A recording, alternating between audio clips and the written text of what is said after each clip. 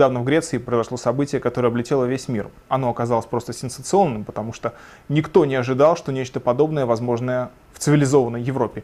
А и тем не менее это оказалось возможно. На клубничных плантациях Пелопоннеса произошел расстрел рабочих, потребовавших выплаты задерживаемой им заработной платы. А люди собрались э, вокруг менеджмента для того, чтобы получить свою заработную плату за полгода – но в действительности им должны были, похоже, еще больше, поскольку прежде с ними расплачивались мертвыми чеками, которые никто нигде не мог обналичить. Эти рабочие были не европейцами, это были бангладешцы, большей частью.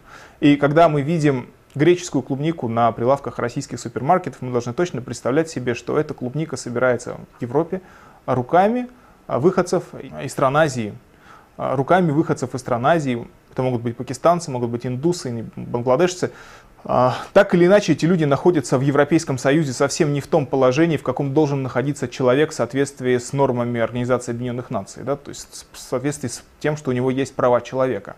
В Евросоюзе существует жесткая система дискриминации, и эти люди находятся на самом дне. Они живут а, в деревянных каких-то шалашах или в постройках из целлофана, они работают по много часов, и они не получают подчас заработную плату, что, в общем-то, роднит, как мы видим, Европейский Союз с Бразилией 19-го, начала 20 века. То есть мы наблюдаем, что в Европе существует третий мир внутри первого. И этот третий мир очевиден. И против этого третьего мира используются те же самые приемы подавления, которые применяются в настоящем третьем мире. Что произошло? Менеджмент открыл огонь, и 30 человек были ранены.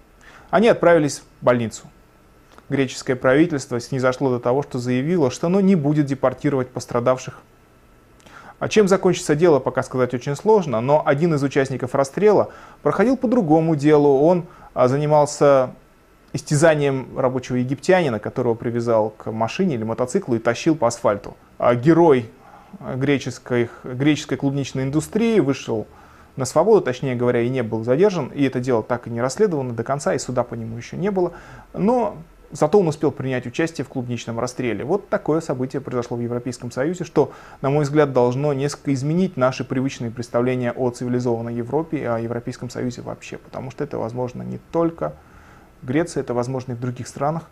Такова сегодня Европа.